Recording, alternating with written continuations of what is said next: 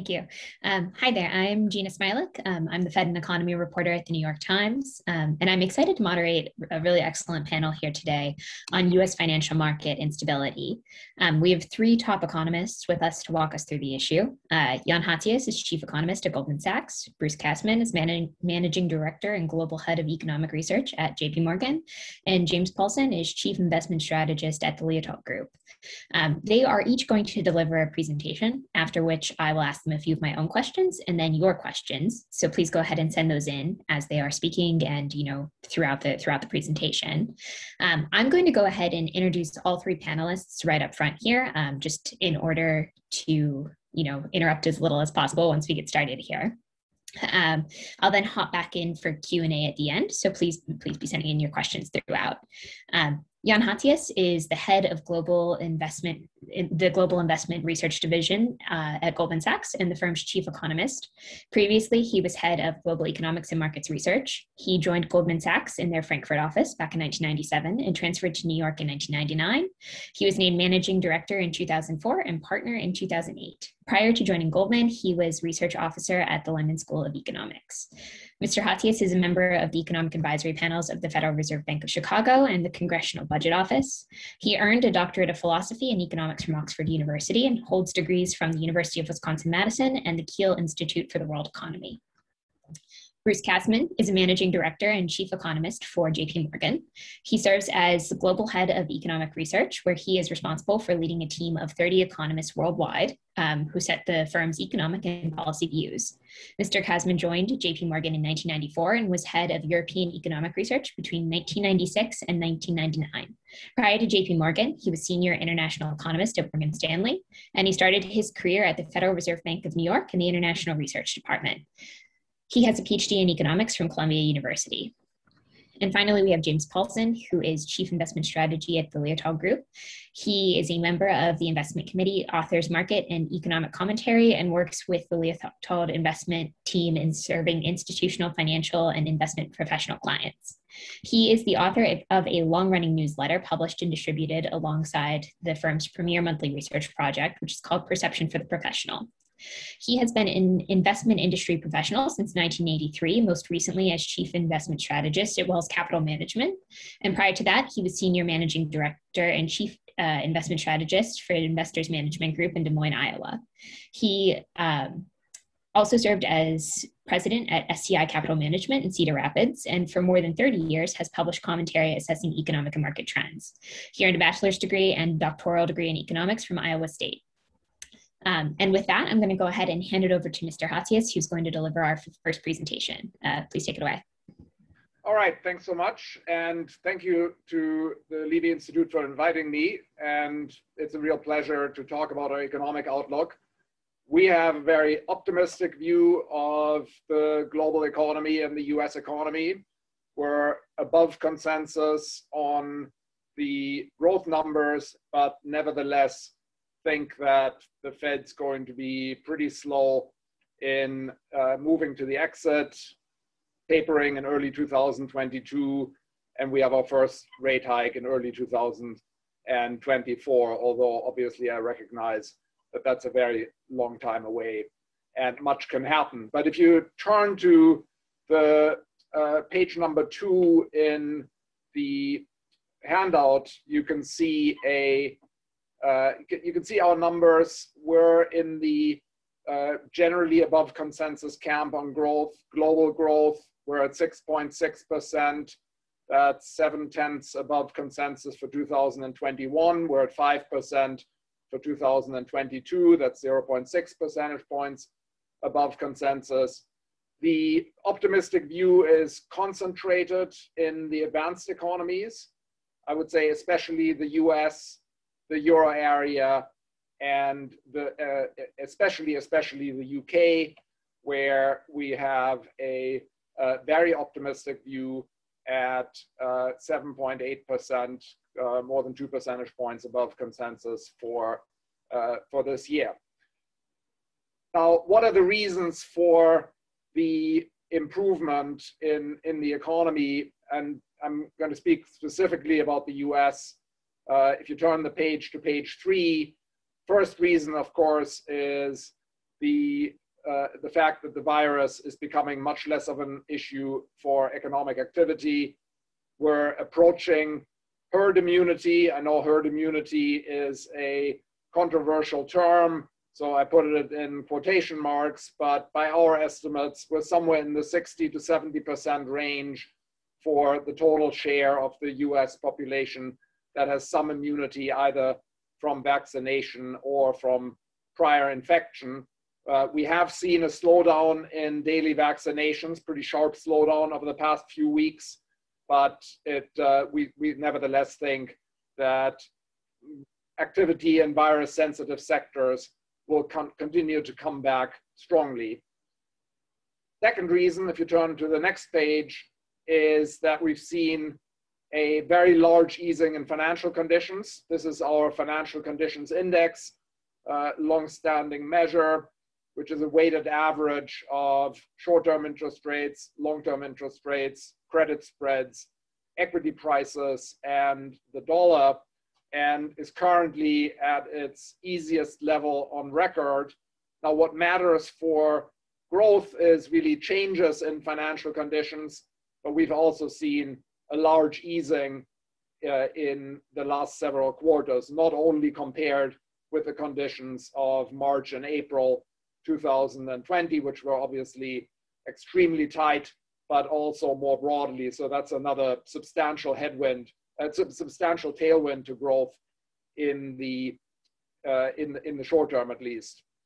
And then third reason for for strength is a massive amount of fiscal support. If you turn the page to the next page, and we can uh, see this just in terms of the total amount of extra deficit for from, from discretionary packages in 2021 that stands at about 12% of GDP by our estimates and that's obviously providing a large amount of uh, tailwind and we've, we've seen an even bigger impact in 2021 than in 2020, despite the fact that 2021 is going to feature a significantly better economy.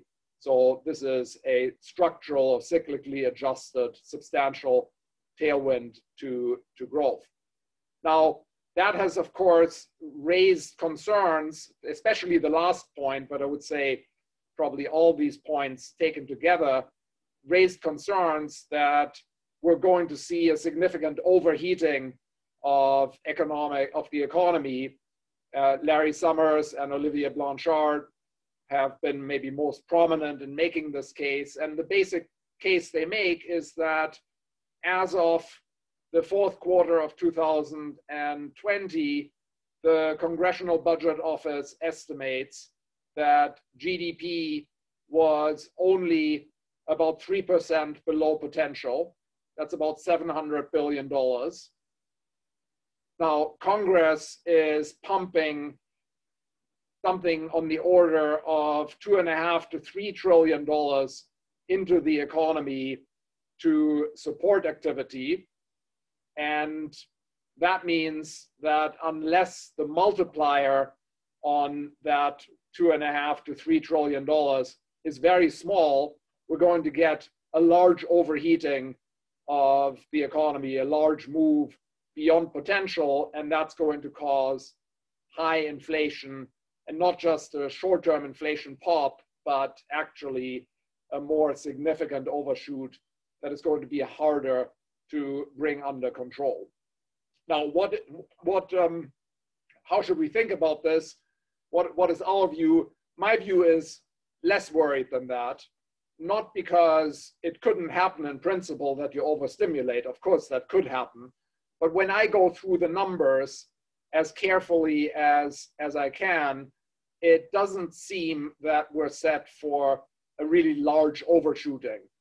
And if you turn the page to page six, there, there is a, a, bit of an accounting here that goes through the total impulse to GDP that we're likely to see from these different uh, from these different sources.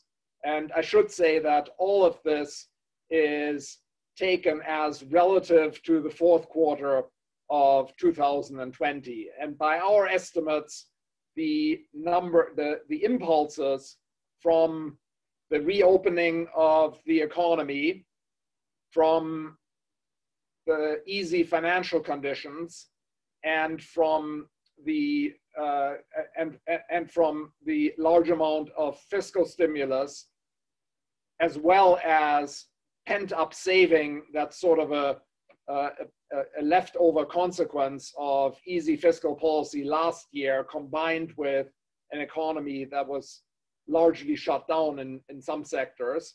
When we, when we take all these things together, we get something like a 6% boost to the level of GDP by the fourth quarter of this year and first quarter of, of next year. Now, that's, of course, an estimate, but, uh, and, and there are definitely significant uh, uncertainties around that, but our best guess is that we get about a 6% boost, and then, then that boost diminishes somewhat in 2022. So in 2022, this would be, if you just take these numbers literally, be a reason for slightly below trend growth.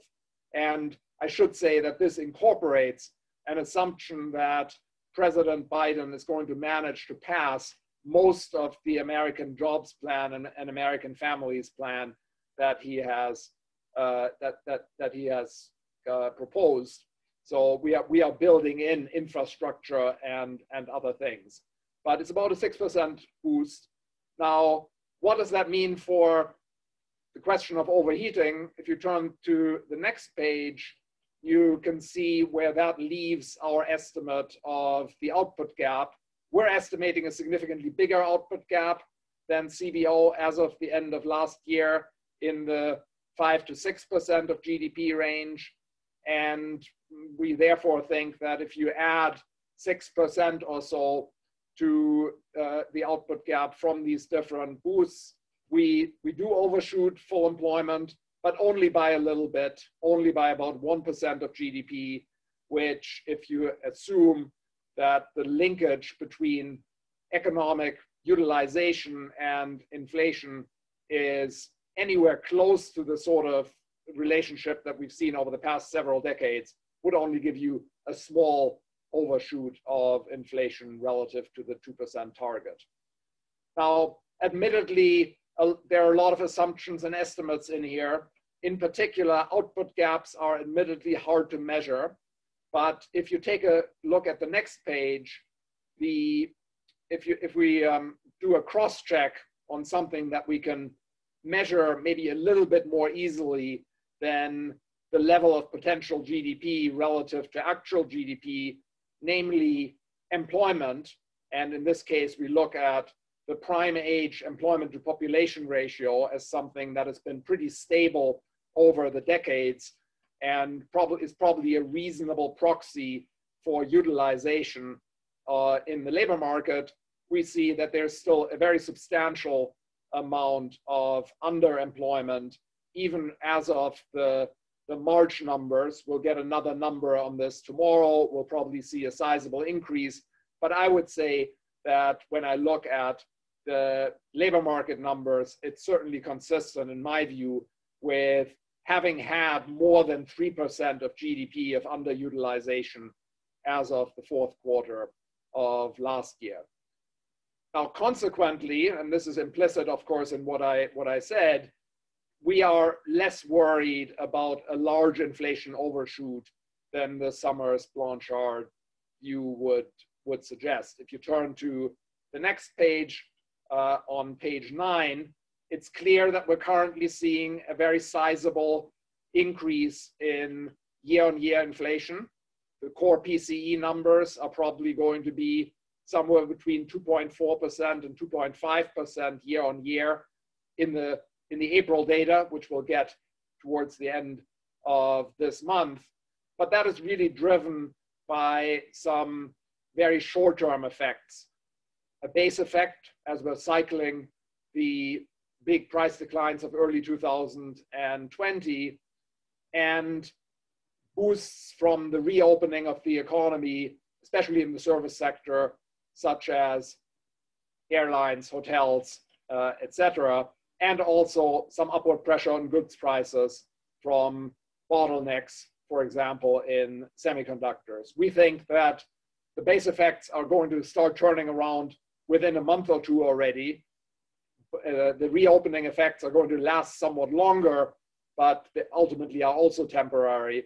And there are also some more temporary special factors that are probably going to be a drag on inflation as we go into late this year and early next year. Healthcare costs are a particular case in point where we're likely to see uh, less of a, we, we have been seeing a boost, we're likely to see a drag from that.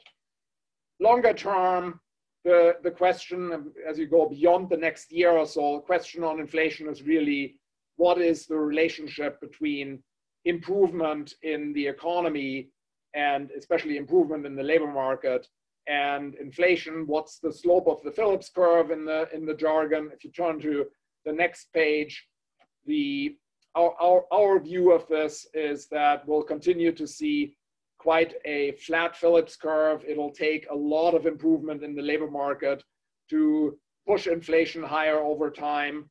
Uh, we're, we're assuming that the, it therefore takes until 2023 to get above, really get above 2% and then 2024 to get above 2% to a degree that would be sufficient for uh, to, to persuade the Fed to start hiking the funds rate. Now, more broadly, what's our, our Fed policy outlook? Our expectation is that, uh, and you can, you can turn the page here, uh, our, our expectation is that tapering, which depends on substantial further progress on employment and inflation, that that will be with us in early 2022. We think they'll start talking about it over the summer. They'll drop increasing hints as we get into the fourth quarter. It gets announced perhaps at the December meeting to start in, uh, in January. We're expecting that it will take about a year for tapering to be completed. $15 billion of reduction in asset purchases per meeting. There are eight meetings, and we're starting from 120. So that takes us into late 23, late 22, early 23 for the tapering to be complete, completed. Rate hikes could, in principle, commence thereafter, but you do need full employment, 2% inflation, and confidence in a moderate overshoot. And we think that probably means core PCE needs to be something like 2.2% and gradually headed higher uh, based on what they see in the rest of the economy. And we think that's probably an early 2024 kind of, kind of event, which is approximately a year later than market pricing at this point. Lastly, on the Fed, the, as far as the speed of rate hikes is concerned, I am sympathetic to the idea that it's ultimately going to be steeper than what markets are pricing. I think the funds rate is going to rise to higher levels than the 2% or just over 2% numbers that are, that are currently, uh, currently priced in the market. I do think they're probably going to start relatively slowly. So we've only got two hikes penciled in for 2024, but thereafter I would expect, expect an acceleration. And ultimately 100 basis points per year a hike every quarter or so seems like a reasonable guess for what the speed is going to be. Now, let me just uh, spend a little bit uh, more of time on the rest of the world. Uh, if you could just flip the page to the uh, vaccinations, since that is really the main driver of where we, you know, where, where the strength in the, in the forecast is coming from. Uh, you know, obviously we've seen a big increase in the US as far as vaccination is concerned. And we've seen a, um, uh, you know, a head start for the US and the UK in terms of how the economy performs as well. and um, but but we think that ultimately we'll get to roughly the same place across the major economies in terms of the percentage of the population that's vaccinated, and uh, uh, in particular in the euro area, we're now seeing a sharp acceleration. If you turn to uh, the next page, seeing a, a, a sharp acceleration right now the percentage of the population in the euro area that's being vaccinated every day is actually slightly higher than, than in the US. Germany in particular has seen a very uh, sharp improvement. And we therefore think that the gap in growth rates, uh, if you turn the page, between the US and uh, Europe in particular is, uh, you know, it's quite, quite high at the, at the moment. Uh, the uh, US is, is outperforming significantly as far as uh, growth is concerned, but we think that Europe is, is catching up and we'll see a um, large, large pickup, especially in the, in the third quarter in Europe as well. Ultimately, uh, you know, we do think that the, there will be some convergence in terms of the growth rates between the US and, uh, and Europe. Um, and uh, if you could turn, turn the page uh, just once more, uh, we also have, you know, of course, uh, you know, dovish views on, on um, monetary policy in the US and even more dovish views in other parts of the, the global economy, just given the starting point. But I'm going to um, stop here and uh, turn it back to Jeanna. Great, thank you so much for uh, a really good presentation there. Um, Mr. Kasman, I think we'll just go ahead and go straight and jump straight into yours and then do questions at the end. Okay, thank you. And uh, uh, thank you, Jan, for going through uh, an outlook which uh, does a, a, decent amount of work for me, particularly in terms of the, uh, the near-term U.S. outlook. We have a very similar view, and I'm not going to spend too much time um, repeating much of what what has already been said. I think what I'd like to do is address the issue of stability from the macroeconomic point of view.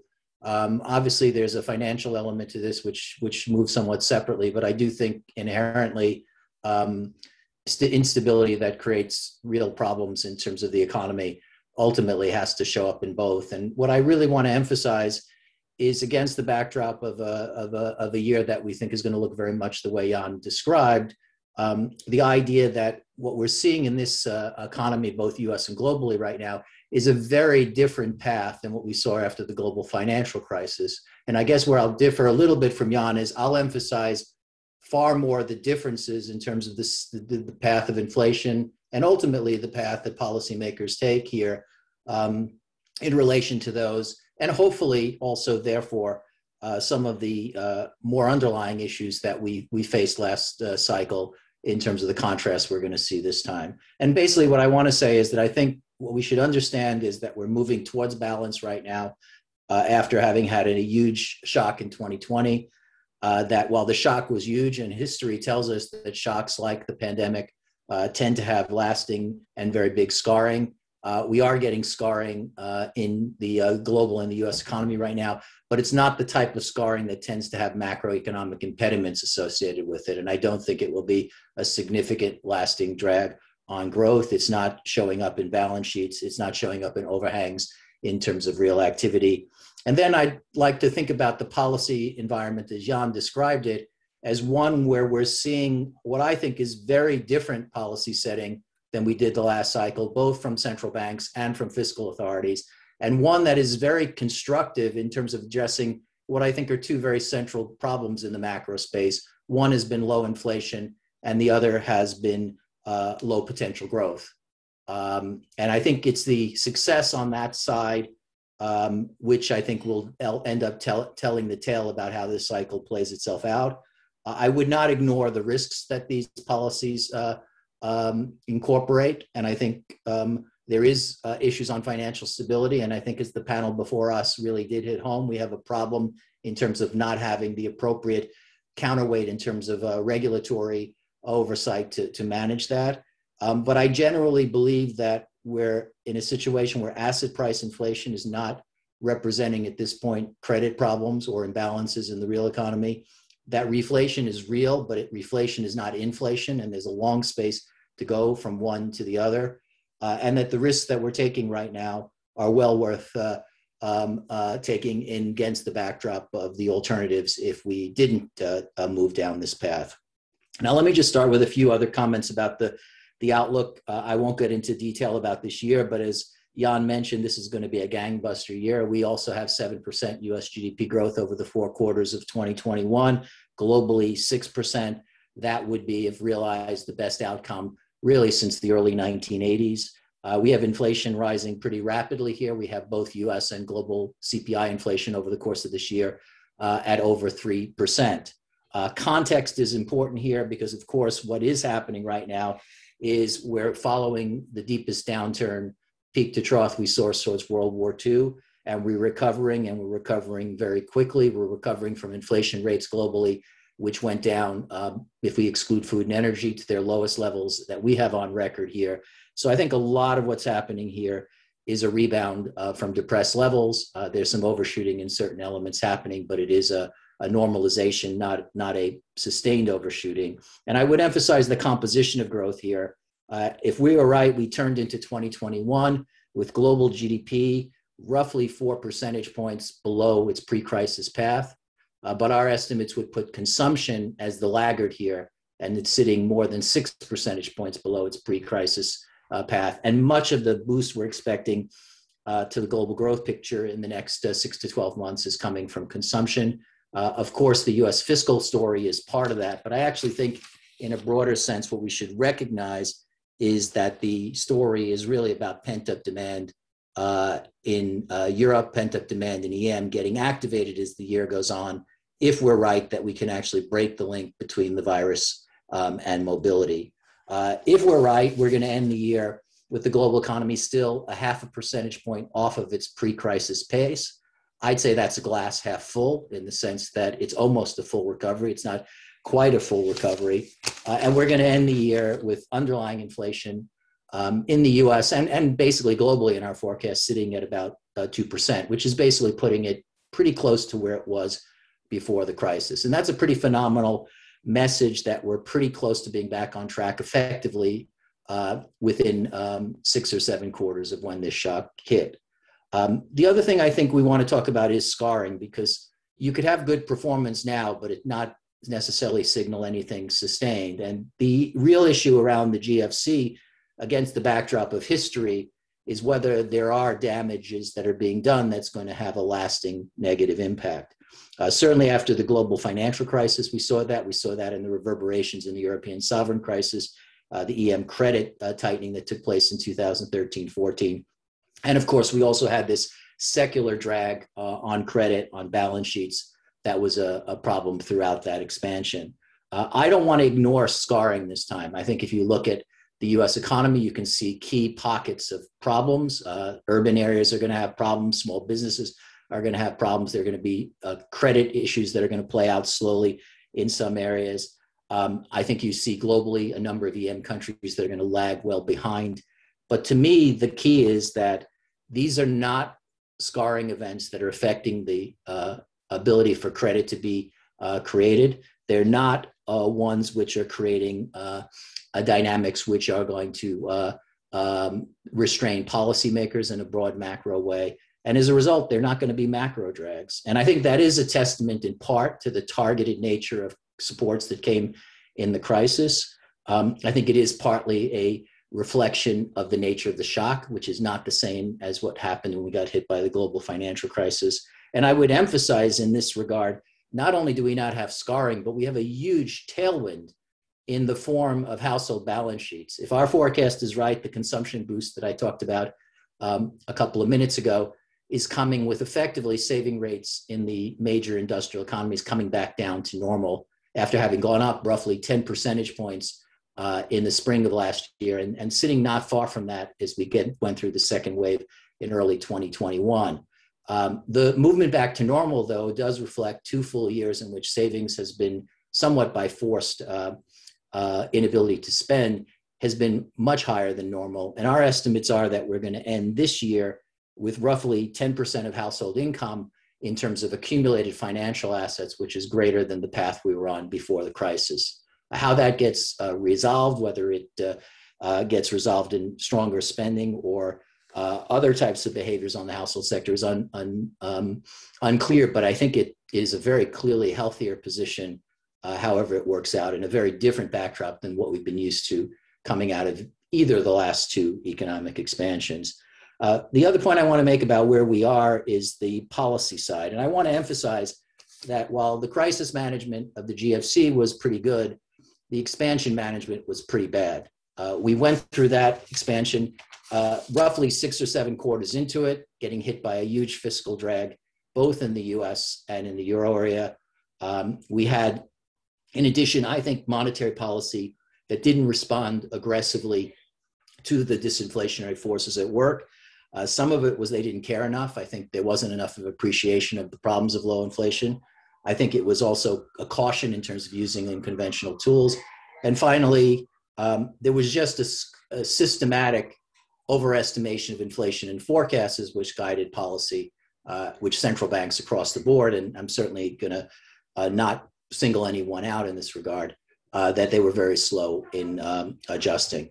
Uh, we are now, I think, setting the stage for an environment where fiscal policy supports are going to continue to be highly stimulative, but we're not going to have that pullback in an early fashion. And I think that's true in the US, it's true in Western Europe, it's true in Japan. And in the EM, it's a far more mixed story. But again, from a, a broader macro picture, uh, the limited number of countries that are going to tighten heavily in EM don't matter as much from a macro perspective. Uh, more broadly, um, as Jan has mentioned, the Fed is turned very accommodative here. It has an inflation overshooting framework. Um, the BOJ, ECB, which have much bigger inflation uh, problems, uh, are not changing all that much. But I think their tolerance for low inflation has gone down. And I, what I want to emphasize is they're committed to low for long here.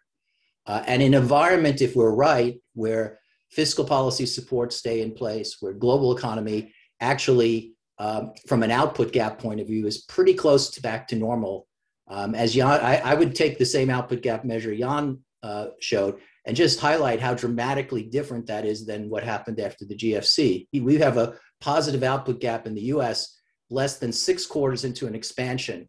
It took 35 quarters after the GFC to get uh, something like that for the uh, for the developed market economies overall, and that is a huge difference in terms of your starting point. So your starting point here is one of continued fiscal supports, slack being eaten up very quickly, central bankers being uh, quite supportive. They're constrained and they continue to be constrained by the zero bound. But the important point there is that the constraints get relieved if the combination of the fiscal supports and other positive developments in terms of credit and financial conditions actually begin to raise R star, which is one of the things that I think is embedded in our forecast. So we get traction here that goes well beyond 2021 and is really the, um, I think, the catalyst for a, a, reflationary environment taking hold. I would be, um, you know, very much in Jan's camp that the way some people are talking about inflation getting high and out of control is a red herring. But I would also say, if we're right, that we're sitting here two years from now with global uh, core inflation sitting 50 to 75 basis points in the US and in the euro area roughly 50 to 75, 50, 75 basis points higher than where it was uh, in the last four or five years of the previous cycle. That's a material and important change that we should recognize uh, is taking place in the global economy. And I would argue it's a, it's a very positive one. Now, I don't want to ignore problems here. Um, as I said up front, uh, a, a, constructive macro environment, uh, a Fed that's very easy, a reflationary environment, all has the recipe of creating um, uh, pressures in terms of the financial sector, which can go well beyond what's consistent with macro stability. And I think we do have a problem here of whether we have the tools necessary to regulate the financial side as we go down the road of the macroeconomic um, uh, path we described. I think there are imbalances here that I'm maybe putting too light touch on. Uh, there are imbalances, particularly, I think, in a number of EM economies that are going to lag behind here. Uh, India, Brazil, uh, a couple of others are big countries which, in our forecast, just don't ever get the full recoveries we have uh, elsewhere, and potentially are problems both from an economic and from a, a geopolitical perspective. But I think the biggest call here is whether or not um, we're right here that you can actually use this kind of environment, this kind of jump starting of this recovery, given the fiscal ammunition we're putting at it, given what the Fed's doing, to actually lift potential growth. I mean, I think that's to me the big call here. I would argue that the fall in potential growth we saw in the US and globally over the last um, uh, 20 years has a policy component to it. And that's one of the things we should recognize. We're taking a well warranted risk in terms of trying to help boost that. Uh, and I'm not just talking about the Fed, but I'm talking about the components of the fiscal program of infrastructure and, and, and, and, transfers that the Biden administration is putting in place. Um, but that's coming against demographic forces. It's coming against the history of pandemic shocks, which have tended to have negative impacts. And I think the, the story will be told beyond the next couple of years whether this reflationary and healthy growth environment actually does deliver ultimately a stronger supply side. And I'm, I'm going to take an agnostic view on that as I, as I close. Thank you. Great, wonderful. Thank you for that. Um, Mr. Paulsen, do you want to take it away? We'll do. Thanks, Jan. Uh, thanks to Dimitri for having me back. It's been a number of years since I got to present here, and it's always a fun group to uh, share some thoughts with. I am going to use the presentation, so I'm going to hit uh, share screen here, and hopefully uh, uh, we'll see if we can get to where I want to get. Um, okay. Let's see. And there we go. All right, you see that okay? I'm gonna uh, start in here. I um I agree with a lot of the comments that both Jan and uh, Jan and Bruce brought up, and um, I, I certainly see similarly strong growth here coming this year. I'm actually more in the eight to eight and a half percent camp this year in the United States, and closer to Jan at four and a half to five next year. Um, but I want to focus in on, on about four different issues, uh, if I could. I want to talk first about um, what this pandemic did, in, in some sense, to me, was put us on one of the biggest bust to boom roller coaster rides in post war history. And I think that has some impacts, particularly on the psyches of players, uh, that, that will have real impacts down the road. Talk a little bit about that. And then I want to talk about the two big issues going forward, which Bruce and Jan both touched on a little bit. You know, is are we going to get runaway inflation from this or not? Um, and I think an equally big uh, uh, issue, which which Bruce touched on at the end, is is there going to be a lasting, sustainable force for better growth than what we've had maybe in decades? not just a, a boom bust, but a, a, sustainable higher growth rate as a result of this. And then lastly, talk a little bit about what seemingly is just a watershed change in, in how we uh, undertake economic policies in this country. It, it, starting even with, uh, seems up there's a joined at the hip team up between the Federal Reserve and the Treasury Department, uh, all in one team and no independence almost anymore, but just the, what I would call the policy is go big. And, and is that going to work or is it going to be kind of a, a disaster? So that's kind of where I want to go. Let's start with this boom bust cycle. And um, this chart uh, kind of gets to that, looks a little bit at um, uh, the annual real GDP growth here, year on year since 1950. And we basically, the red line is the forecast consensus right now, or close to it. We've basically gone from a depressionary bust to a wartime boom here in a 12 month period. There's just nothing else like this in the entirety of post war history, maybe not even in US history, in the sense of, of going from the depths of where we went back so quickly to some of the fastest growth rates ever. And I think part of this came, uh, understandably, this cycle to me uh, came about from overreaction by players. And uh, certainly COVID set it off, but I would say the reaction to this has been an overreaction. Now, I'm not saying there wasn't a, a very serious crisis, there obviously is, but I think that we went way over the top by almost all the players. This certainly here is, to me, overreaction. Um, if you sum up money supply growth and deficit GDP, we're you know we're we've been persisting at 45 percent uh, in, in, a combo package. There's just nothing like that almost in U.S. history. Um, we certainly needed policy juice, but we we got a lot more. If, if you look at what it did to businesses, they, they created a record decline in output, a record decline in jobs, and a biggest inventory liquidation ever, almost in a one month period. And I think it, it's testament to the fact that when you combine a health crisis with an economic crisis, what companies were trying to do wasn't just make it through a recession, they were trying to survive to get to the other side of this pandemic. And so they cut everything to the absolute bones, uh, thinking just how do I survive more than anything else. And then finally, consumers just sitting on massive collect savings and unspent buying power uh, still have not spent that really, and record declines in, in credit card debt and cleaning up their balance sheets. The net result of all of this, whether it's policy response, business response, consumer response, is growth is going to be stronger than normal going forward. More policy today, more growth.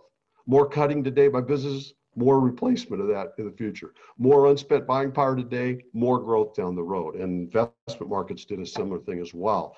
Um, but there's just two things I'd highlight. Certainly, I, I just show you real quick policy. I, there's no rhyme or reason to this. I just add these two up, what I call the MF economic policy indicator, summing money supply growth and the US federal deficit percent of GDP.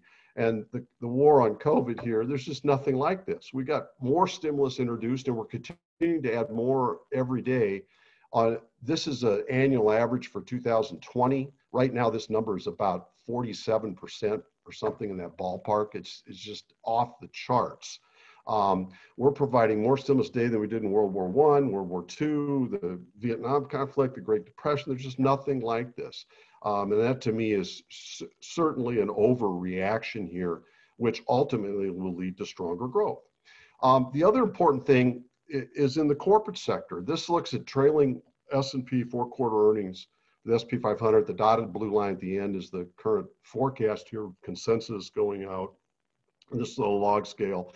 But what's interesting, despite the fact that we had the biggest drop in GDP, the biggest drop in jobs, the biggest inventory liquidation, we had the smallest decline in earnings in the last 50 years. And we've had the quickest revival to new highs, only taking seven quarters compared to the past. Why did that occur? I think it occurred because of the excessive overreaction of cutting by companies. When you're getting down to the bone, rather than a normal recession that happens and they take time cutting costs so their earnings get really hit, they did it almost overnight. And as a result of that, uh, they they kept earnings intact and then they've recovered a lot faster as well. This is going to be very significant for what companies do going forward. Without having such a big drop and taking forever to get back, companies can get back quickly to spending and growing again uh, in a way that they haven't been able to in the past.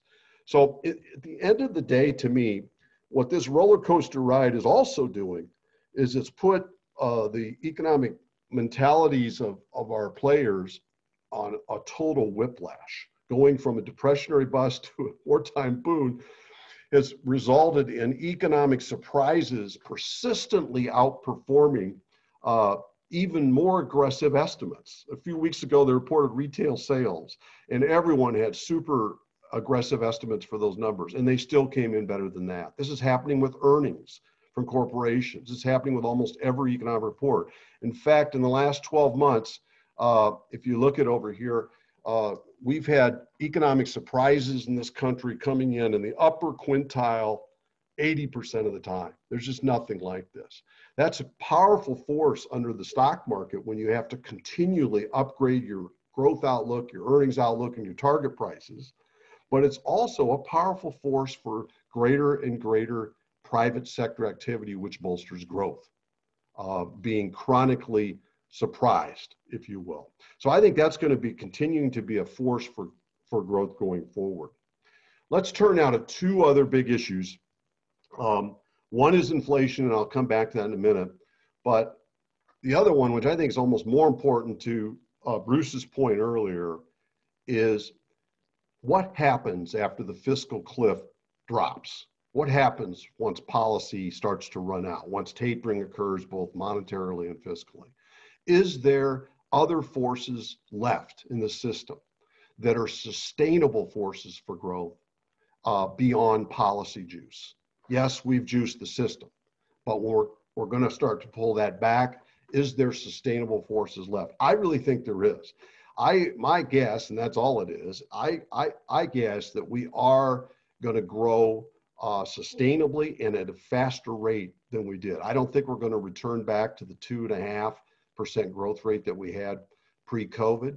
I think the result of a number of things is going to keep us on a higher trajectory growth rate, maybe for longer. Uh, certainly, there's pent-up demands um, you know, it's not just taking trips, but no one's bought clothes or or, or gone and, and, done anything else that that's going to come out. Um, and those will be persistent and not necessarily come all in one year. There's going to be a whole lot more new job holders at this time next year than there are now. And brand new job holders with fresh income and a, and a more sustainable future are going to be more aggressive in their their uh, behaviors confidence, even though it's come up a lot now, is going to be a heck of a lot higher uh, at this time next year when you bring in brand new jobs and new businesses that reopen again into the mix. We got two phenomenal things that have happened during this pandemic a surge in household formations being driven by millennials, uh, and a surge in business formations, which is almost inexplicable. But I think both will probably persist. And these are these are conditions outside of policy that are going to continue to drive the growth rate of this economy higher than it's been uh, for quite some time when household formations was chronically falling and so were business formations. We also, as a result of cutting inventory so dramatically, and we're seeing the impact of this in, in uh, containers and chips and houses, uh, we're going to have the need for a massive inventory rebuild just to catch up to demand and then also replenish shelves. And I, again, I don't think that's something that'll be done all over one year, but it'll bleed out over time. We've got tremendous amount of unspent uh, idle demand sitting on the sidelines here that's going to come out again over a multi-year period. When you build up, uh, not only do we have pent-up demands, but we have the pent-up ability to buy them, if you will. Uh, that that's something we just haven't had. We've had a low savings rate over time. We've also got remarkably uh, healthy balance sheets. The debt to income ratio for households has been declining for 20 years. The debt to personal total income right now in the household sector is back to where it was in the in the late 1990s. Um, and their debt service ratios are even less given where interest rates are. There's just incredible pro- propensity to drive growth again if uh, if they start to use their balance sheets. And banks have incredible lending capacity because no they have no one's been using it for a while. We've also had just an unprecedented rise in net worth, and that tends to have a very good relationship with future uh, growth as well. And again, not necessarily spent all in one year. It'll be post uh, policy. I think we're going to get better productivity. I'll talk about that. And as Bruce and Jan have talked about, you could basically take this same list I just gave you and replicate it almost every place around the globe, at least to some degree. So I think a big issue isn't just whether we have transitory inflation, it's could we also have a growth environment that sustains at a 4% rate or something in this uh, maybe twice as great as the GDP growth rate that we've had in a few years. Um, on inflation, and I'll come back and talk a little bit more about, about these lists here. Again, I think there is a fair amount of disinflation force. Yes, policy is outsized and and simply unprecedented. There's nothing like it. They're doing all they can to create runaway inflation. There's no doubt about it. But they're up against some pretty formidable, uh, uh, pretty formidable competition here to do it. Um, I'll, I'll visit a little later about uh, both demographics and productivity. The US competitive situation today is just so much more advanced than what it was when we went into the 1970s, which everyone seems to fear. It isn't even close. Uh, and that is a very different environment than we were when we were largely a closed economies headed into the 1970s.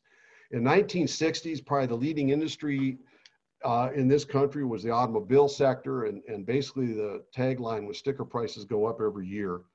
The leading industry today is technology, and the tagline is sticker prices go down every year. One was an inflationary leader, one's a deflationary leader.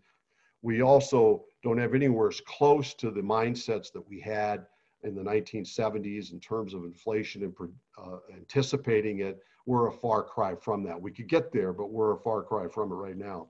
We've had collapsing monetary velocity in this country for 20 years. Um, you know, it's not the same where we had flat to rising velocity in the 60s and 70s. And finally, at least yet, there is resource slack. I'll come back to that uh, in just a minute. So let's switch uh, now to the policy that we've uh, adopted here, not only in the United States, but globally. And I would say the policy to me is called Go Big, uh, probably from Yellen. And I think there's two uh, reasons that they're doing this. I think it's the conscious effort. I think um, they they said, look, we, we've been dealing with the inflationary ghost of the 1970s for four decades. So we've always been quick to tighten and slow to ease and and reserved on how much we ease and for how long we ease. And what has it got us? Well, it certainly killed off inflation. We haven't ever had that come back. But it slowly and continually eroded the propensity to grow to all to the extent that in the last recovery, which was a 10 year recovery, we barely grew more than 2%. Slowest recovery ever in our history as a result of the chronically worrying about inflation around every corner. So I think part of this is just having a nasty 20 years um, here. Maybe you just come to the conclusion as policy officials in general, leaders of the country, that man, we ought to just try something different here. Maybe it won't work, maybe it'll get us in trouble, but the way we're going, growth, even during expansions, is getting to the point where it can't support most of the population. The income distribution warps, and uh, uh, among a lot of other issues I got laid out here that are just very concerning. So I think there's some pres- there, there's some reason to, to try something new, and I think that's what they've adopted. There's also a precedent for success. The 70s is certainly a precedent for failure, and that is one possibility, no doubt about it. But there's also a precedent for success, and I wonder if that's part of their thinking in adopting the policies they are. Well, let's just uh, bring that in as we talk a little bit about inflation, a little more general here. Um, this is the chart that goes back to 1950, and it's, I think, is go big policy. What's behind that is the idea that we're going to run it hot. That's what we're going to do. We're tired of worrying about running it too hot. We're going to run this hot and see see if we get more real growth rather than inflation, uh, and it works. And I don't know what the appropriate measure is for running it hot, but this is a darn good one in my book. It's it's just looking at the difference between annual nominal GDP growth and the 10-year treasury yield. When when you look at the degree of how hot we're running it, I don't think it's a bad measure to say what's our nominal activity versus the interest rate structure of the economy. And you can see that we've run this thing cold for much of the last four decades, almost all the time, sometimes really cold where we had growth far below the, the, the rate structure in the economy, a very deflationary, disinflationary force. But we have run it hot. And one of those periods, let's say 65 to 70, was an utter disaster. And one of those periods from 50 to 65 was a huge success, often called uh, the golden years of capitalism. And uh, as you do this policy today, and we are running it hot, and I think we're probably going to continue running it hot. Um, do we end up here or do we end up here? I think that's the question of the day. Um, the certainly policy, when you look at this alone, uh, makes you think of inflation. But it's interesting if I go back to the 1950s, that 50 to 65 period, that also was started by an outsized policy surge in World War II. Now, the World War II surge was often considered to finally end the Great Depression in this country. Will the COVID war policy surge be looked at a few years down the road as the thing that finally ended uh, ended the great financial crisis uh, of 2009? and the pathetic growth that we've had since? I don't know. We did get a surge of inflation, but just like the Fed has told us, it was a very short term transitory surge from this policy, and then it went down and we had stability the rest of the time. Maybe we do this again. Um, what does the 50s look like? And this is annual real GDP growth, and the red line is, is the 10 year treasury yield. And it's quite amazing. We ran this about three and a half percent, the growth rate higher than the average 10 year treasury yield for 15 years. And we ran it hot and we never, uh, it, uh, the, but the economy stayed cool in terms of inflationary fallout and yields.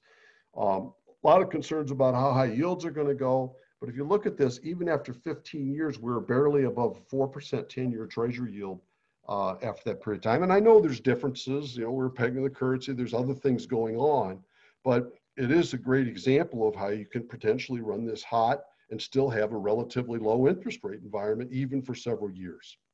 Um, what about the big differences between now and the 50s uh, 50, 65 and the 65 to 70 period? Is it more like going into the 70s or more like coming into the 50s? And I would argue it's more like coming into the 50s. Um, if you look at the chart here on the left, the labor force growth uh, during the decade of the, of the 70s was two and a half percent per annum. All the rest of the time in post-war history was about one, little over 1%. In the last five years, from 15 through 19, it's right at that level of 1%. That's probably what where we are in general um, overall. Um, I think this had a huge thing to do with inflation was growing uh, our labor force that fast. And again, it was a young labor force that grit into uh, created a lot of inflationary pressure relative to supply capability. We're just not in that situation today, much more like 1950s. Over here, we also have an aging labor force that's continuing. The red dotted line here's uh, the ratio of labor force of under 55 to over 55. As you can see, that's been falling for decades. Um, and the blue line is just the detrended level of the CPI index. So when it goes up, it's growing faster than its average. And when it goes down, it's growing slower than its average. Um, this is the only time when we had a young and rapidly growing labor force that we had runaway inflation. We are much more comparable to this type of environment today than the, than, uh, the other. Also, both the, both the 1950s and today were let off or preceded by a savings bomb. We certainly had one of these starting after World War II and commenced all the way to the to the 1980, and we certainly have one today. And I do think it's going to come down a lot, but I'm not so sure it won't stay elevated or at least take a while in a few years, which makes it very comparable to what happened here. What does this mean for growth? Well, historically, if I take that savings bomb, which is savings as a percent of GDP in this case, and I overlay it on top of nominal GDP growth, uh, but I push the dotted red line forward by five years. So this savings bomb, bomb is leading, trailing nominal GDP growth by five years. There's been a not a perfect, but pretty good relationship. When these savings rates went up, it was five years later that growth picked up. And when this savings rate came down, it was five years later that growth came down. We now are looking at this types of thing, which is very comparable to what we did entering the 1950s. Then there's productivity, and this is a huge question. There's, I, I highly doubt we'll get back to the productivity we had in 1950 and 1965. Um, we've been running half of that. But there is some hope, I think, on this chart. The blue line in this chart is the detrended level of US productivity. So again, when it rises, productivity is growing faster than the post-war average, and when it falls, it's growing slower than the post-war average. The red line in this chart is the relative total return performance of uh, the technology sector, going back to late 1940s, actually. The key here is it's pushed forward or it's leading by three years.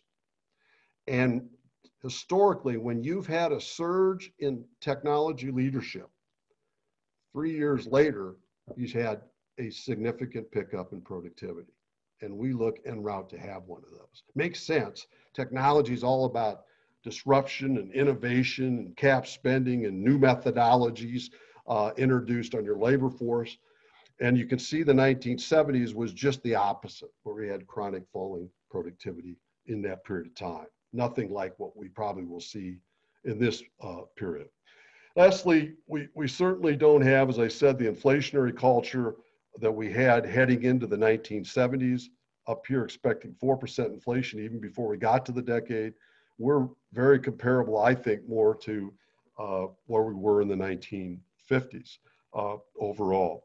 So um, let me just end on this.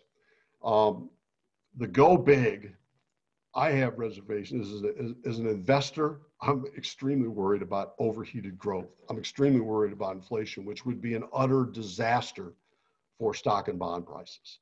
No doubt about that.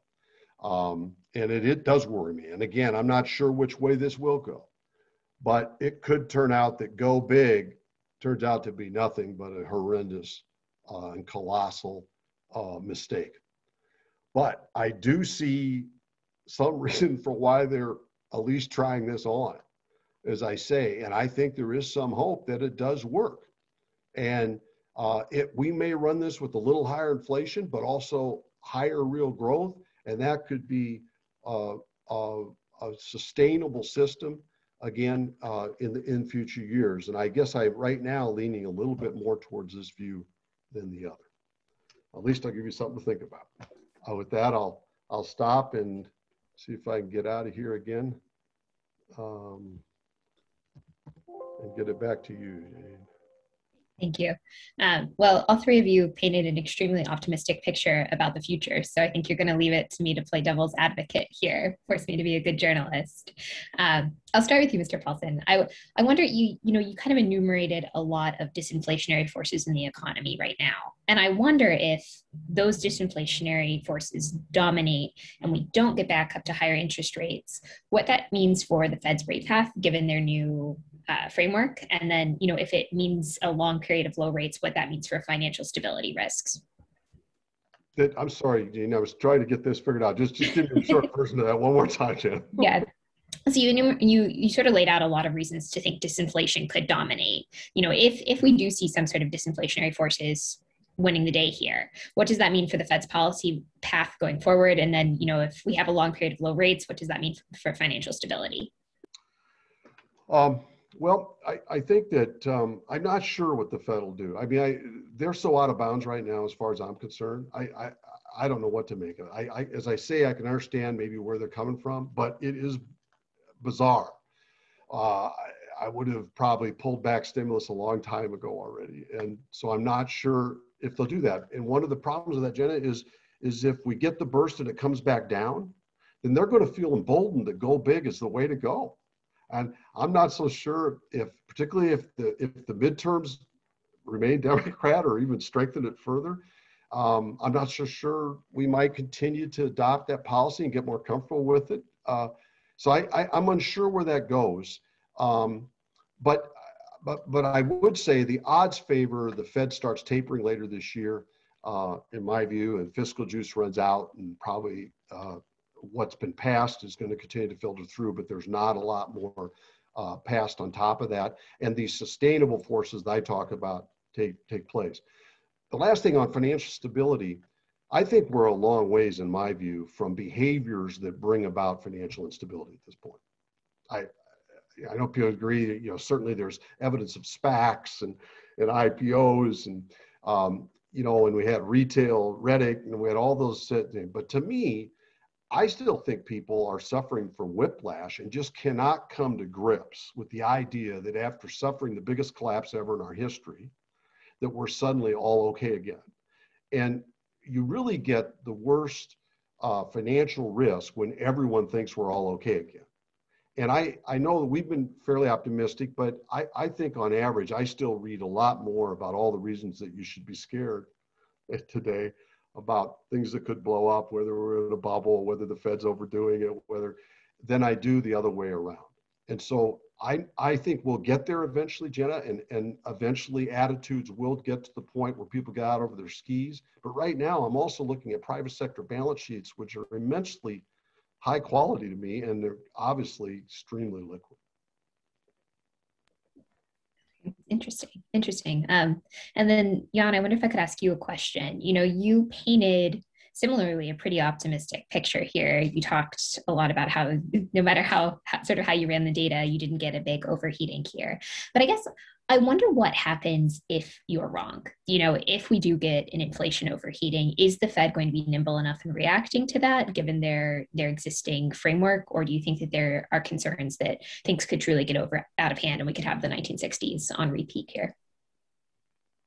I think they would react and that is one I think very important reason to think that the the upside on inflation is limited. I mean, could you get to you know, two and a half percent, you know, two and three quarters for core PCE over some period. It possibly, I mean, that's it's not in our forecast, but you could get to, to, to those kinds of levels. But I think especially if it looks like that's also, uh, that is also manifesting itself and leading to higher long-term inflation expectations, where you know right now you're probably somewhere around 2% if you translate the different inflation expectations measures into sort of the core PCE path. But if that number was two and a half or two and three quarters over the long haul, yeah, I think you'd you'd get a you know a, a much more adverse monetary policy response. And I think that is one key difference with the 19, late 1960s or 1970s experience when the Fed just wasn't really focused on stability of long-term inflation expectations. And actually, there were no data. I mean, there, there was nothing that you could even look at uh, in terms of inflation expectations. There was some one-year data, but there was no TIPS market. There was no long-term uh, consumer expectation.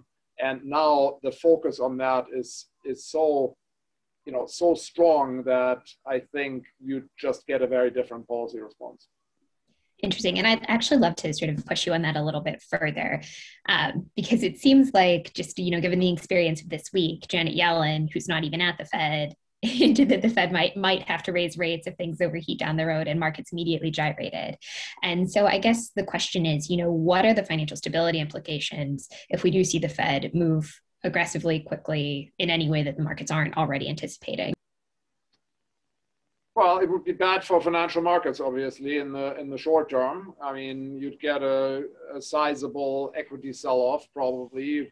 You know, I, I do think there would be a period during which it wasn't, you know, it wouldn't be totally clear how quickly you'd be able to get inflation under under control, and you probably would have to generate some real economic weakness, actually, you know, reduce employment levels, and uh, you know, at least relative to, to potential. So that basically means the unemployment rate rises or employment to population comes down. Historically, it's been very difficult to do that without generating a recession. So even if they end up man- managing uh, to do that without a recession, there'd be a period of uncertainty about that. I mean, there's never been an increase in the unemployment rate of more than you know, a third of a percentage point on a, on a three month average basis that, uh, that, that didn't result in a, in a recession. So no, I think that there would definitely be a, a near term price to pay,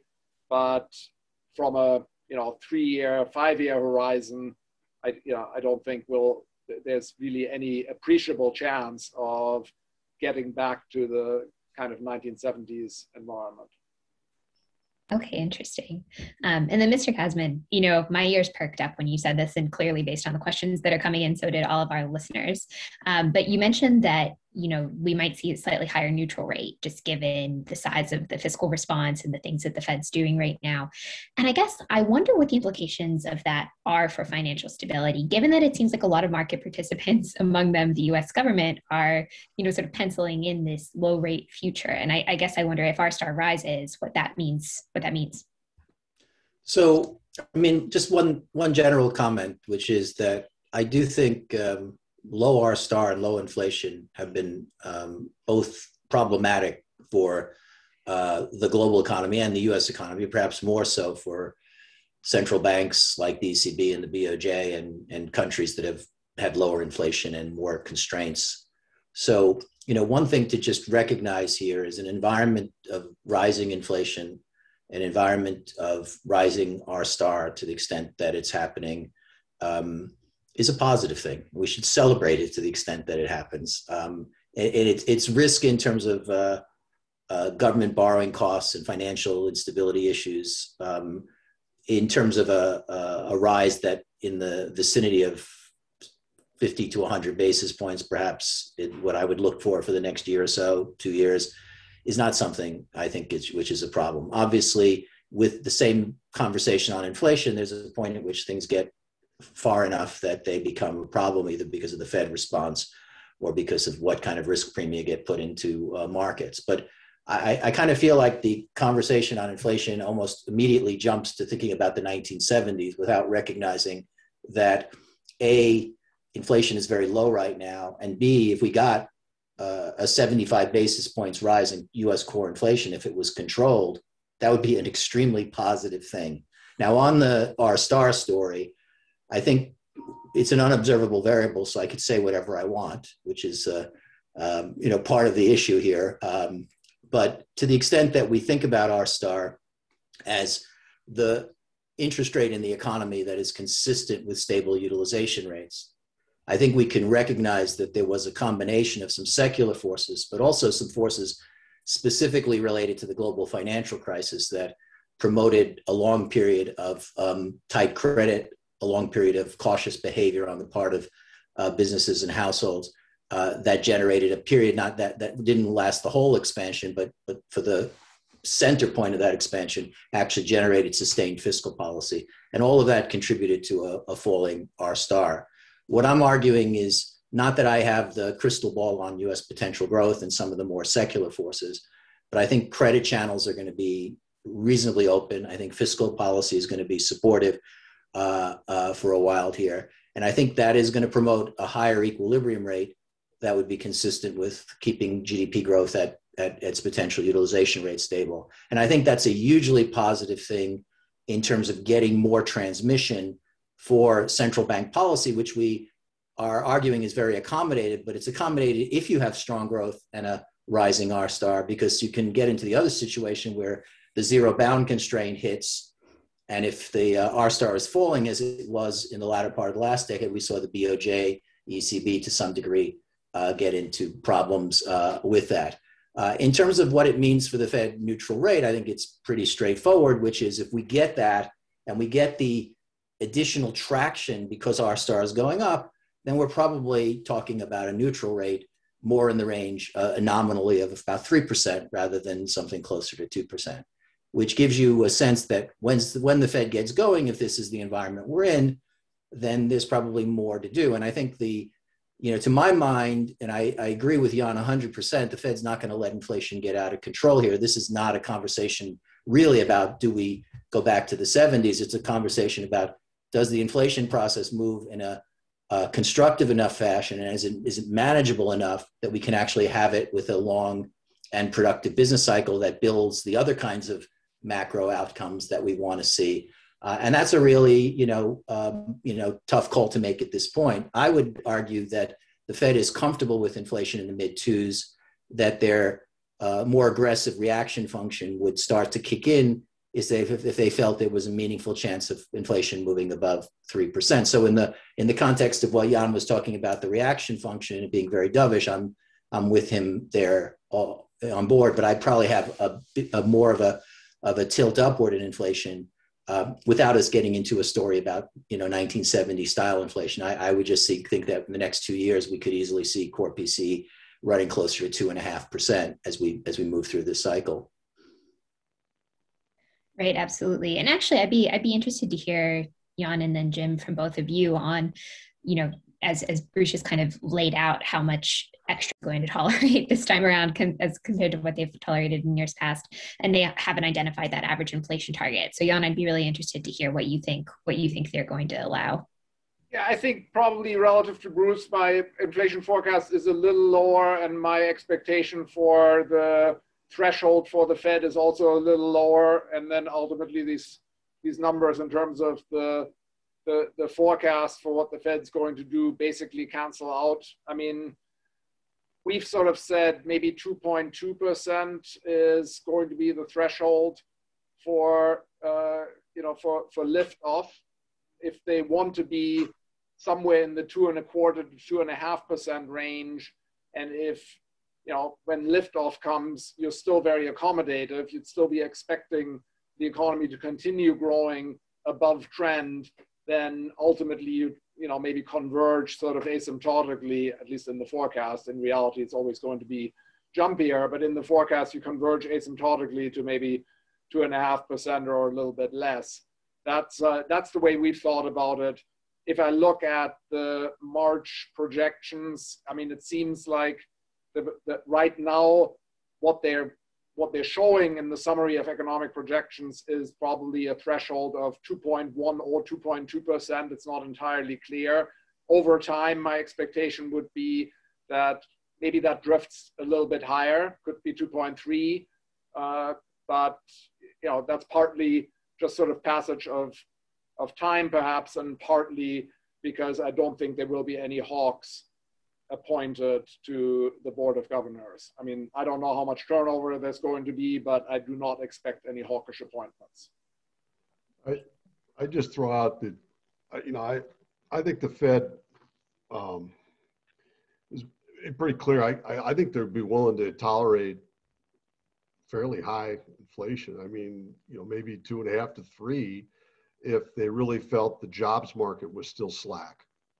In other words, I think that's where it's going to rubber's going to hit the road, and they're going to look at uh, not just not just the uh, you know the the U three unemployment rate or the U. The, they're going to look at the broader definitions of unemployment. They're going to look at the labor force uh, participation rates and the elasticity of the of the unemployment rate at whatever level. And then I think they're also going to be very tied into what's going on with real compensation. And unless real compensation is making advances, I think even relative to business, I'm not sure they'd necessarily be so quick to pull it in. I think that's just where they've kind of gotten themselves at this point, and they're certainly in bed with the Treasury. Uh, I think, which is very odd. I guess you know on the on that point i guess i wonder you you mentioned earlier that you feel that the fed has lost some element of its independence and i wonder how you're identifying that independence or defining it because it seems like it's one of those words that means different things to different people. Well um, i think that there's a I, I think that they've adopted similar what bothers me a little bit is they've just adopted such similar uh, philosophies. Let's put it that way.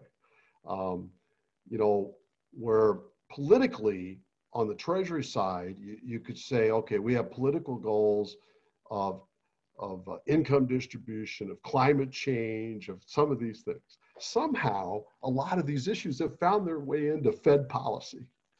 Um, you know different groups not just a macro a policy but different groups that's it may be okay i don't know but i but i'm saying that that just seems like you're mirroring up uh, something that was an autonomous, independent body uh, focused on economic stability uh, and growth that now is getting into uh, focusing on political issues. And I think that's joined them. And then there's also just the fact that they work together on the Fed and, uh, you know, they have a past pretty close relationship. They just, the policies are so mirrored uh, to me. And I think that's very different than it's been in the past. Bruce, Jan, I wonder if either of you would like to respond to that. Um, I would have some sympathy for, you know, that view, but I would want to also emphasize as we think about that, the idea of a more fundamental shift that's taken place on the Fed, uh, which is, I think, if we went back 10 or 15 years ago, we would think that the Fed's attitude about the world, more than more than 10 years before the GFC, um, the Fed's attitude of the world was if they hit their inflation objective, you know, they got they got the job done, and um, more or less other macro objectives would be achieved. That there was a convergence of the dual mandate almost to one mandate. And I think what has happened in the last 10 or 15 years is a um, recognition that both it, um, it is not clear that inflation outcomes will give you your macroeconomic objectives more broadly, but equally important that bad macro policy can lead to actually bad structural outcomes that there is no you know unique equilibrium in the world and that the fed can actually affect that. Um, and I think the political side of this is interesting. As Jan is saying, the kind of appointments we're going to get to the Fed are going to be influenced by the political environment here. But I think there's a fundamental theoretical shift that gives the Fed more willingness to test the limits on the labor market. I think there's something in that in terms of why they removed um, tight labor markets as a reaction function element as they shifted the, the framework that basically gives them a willingness to test the limits uh, on tight labor markets with the idea that they may actually be able to generate better longer term outcomes here uh, in terms of the monetary policy experiment they're running right now. I, I, agree with Bruce on, on that point. On the previous one, on whether you know the Fed and the and, and the Treasury or the Fed and the administration are too close to one another, I thought Janet Yellen actually said it very well uh, yesterday or two days ago when she, uh, you know, maybe qualified some, some of what she'd said previously uh, and said, if anybody knows about the importance about of, about the importance of Fed independence, it's me. So I don't have any problem. I don't think there is any problem with the Treasury Secretary having been the Fed chair previously. I don't. I don't think it introduces any issues of, you know, any any additional concerns about Fed independence, and you know, Fed independence is never absolute. But I'm. I don't. I don't think that there is, a, you know, particularly large problem of threats to Fed independence at the moment. Okay, interesting. Interesting. And then, you know, Bruce, you talked a little bit about the fact that they've clearly taken away that sort of employment um, overshoot idea within within their rates framework. They haven't taken it away in the QE framework, and so I wonder, you know, what you think sort of the employment side of things means for the potential for taper, and then also, you know, how how ready are we for taper? Are we going to have a tantrum again? So I think to my mind, the rate story is relatively easy to link to the macroeconomic outlook, and you can actually see it in the way they describe the conditions. There's some vagueness in how you want to, you know, judge whether those conditions are met, but inflation at two percent, sustainably above, Uh, on a path to say sustainably above two percent, and and a, you know, getting back effectively to full employment. Those are relatively straightforward. The balance sheet is more complicated, and and the balance sheet is more complicated for a good reason, which is that the balance sheet straddles both macroeconomic objectives and also the objectives that were put in place with the crisis to maintain market functioning and also to just generally deal with financial stability issues. And I think the the really difficult point about the balance sheet here is we don't really know yet. They haven't they haven't started to have the conversation, of course, about how they're going to weigh those forces. And I think uh, um, you know, President Kaplan earlier today was talking about his view that we're already at a point we should have that conversation because financial markets are functioning well, um, and it's hard to justify uh, why you keep keep going on that front. But that's not the only thing that's in the picture. As you know, as we you're talking about a tantrum, a tantrum, the Fed has the the memory of 2013 in its head, uh, which happened, by the way, at another time we had a transition in Fed leadership. Um, and uh, I think they're very sensitive to that. So I have a hard time knowing exactly how they're balancing it. I do think they're erring on the side of being slow. I also think they're erring on the side of not leaving before they leave, which is to basically say they're not going to signal the change on this till pretty uh, late in the game. Um, and I'm much less sitting with conviction on whether it happens in September, December, or March than I would be about you know what what is the path here for rates where you know jan and i can maybe have a debate on this but i, I actually think it's really hard to see the fed pushing its tightening before the end of 22 23 into 24 the macro environment can change things but i think they're they're going to stand pretty firm here in terms of guiding us that they can they can live through a lot of macro surprises and still keep policy rates on hold for you know well over a, a year from now so Janet, can I just make one comment in that? Um, the, you know, I, when I look back at the tapering since we've had quantitative easing, I mean, yeah, they, they some of them lead to some turbulence in the stock market, for example, but it's generally fairly brief. I mean, 2011, 2013. I mean, and then there was constant tapering from 14 on. The stock market just went higher, and you know, economy did too. I mean, I, I don't really. I think we tend to blow that up a little bit more than we should because yeah, there's pullbacks in the market, but you know, I think we probably have 10% pullback in the market for some reason anyway, most of those times. Um, and then the other thing I'd say is, you know, we have not yet tapered in an economy that may be growing, you know, six to eight percent in real GDP terms against a rate structure that's two percent. I'm not sure it's going to matter near as much as when we were tapering, you know, with a three percent rate structure and, uh, you know, and and uh, real growth of two. You know, it's just it's just a different sort of tapering environment. Interesting point. Um, one of our one of our audience members has a sort of better way of asking a question I asked earlier. I asked you to all sort of define for me what you think of as the Fed's inflation goal in their new framework. And rather than focusing on the Fed's reaction function, the audience member is asking, you know, what kind of inflation overshoot would concern you? So it's obvious that we're not headed back toward the 1970s, but how hot is too hot? Um, yeah, maybe we could start with you. I mean, I, I would be most concerned by an unanchoring of long-term expectations. So it's less about the spot you know, core PCE number than it is probably about a composite of the different indicators of long-term inflation expectations.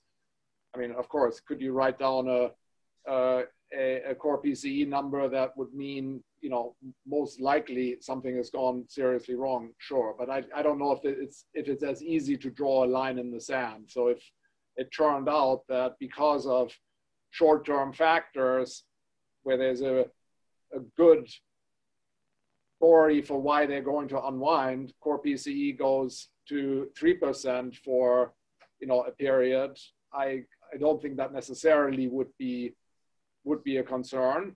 Is, is it likely that you know at some point once you get to that or higher, you'd also have some some issues in in uh, long-term inflation expectations? Absolutely, but that's really what I would be most focused on. Um, if I could jump in, I'll just say I'm you know, answering this question is partly about whether you are comfortable with the Fed's current inflation objective, leaving aside the the operating uh, uh, principles. So I'm going to basically say I would be very comfortable with a somewhat higher inflation objective than two percent, but I'm not going to go there. But I I would say that consistent with what the Fed's uh, inflation um, averaging framework uh, should deliver I don't see any reason why five years of two and a half percent inflation would be uh, inappropriate in that context, although they haven't really defined the parameters of it. So I think to try to get a glide path that for a few years' time you get to the mid twos, to me would be what the Fed should be doing. Whether they can manage that without getting into the problem that Jan described becomes a, a, a really important issue. But that's where I would be hoping that they're shooting for um, in terms of their object, objectives for the next few years. I'll just real quickly, Jay, to say that uh, um, I agree with both Bruce and Jan's comments, um, but I, I just think that the financial markets, stocks, uh, and, would, and bonds would both have problems, I believe, if you had a 3% uh, PCE core for any length of time. And that might solve the issue right there because if the bond market does have a problem, they're going to make it the Fed's problem. and stock market will join in. And that might, I think 3% is my guess of an area that if it's sustained would be, would be, the, would be tough. Good point to end on. Um, we, we are fresh out of time, uh, so I'm going to go ahead and pass it off to Dimitri for uh, the next panel. Um, but thank you guys all so much for a really interesting conversation. Uh, and uh, yeah, hopefully, hopefully your optimistic outcomes outlooks come true. Thanks. Thank you all very, very much. It's very interesting, and um, I'm very glad to hear of this optimistic uh, consensus about the the uh, the U.S. economy, and I hope that you are right. Uh, I do share your views about inflation, but I'm not sure that I am so um, euphoric about the eight percent um, of growth. But yet, thank you very, very much again.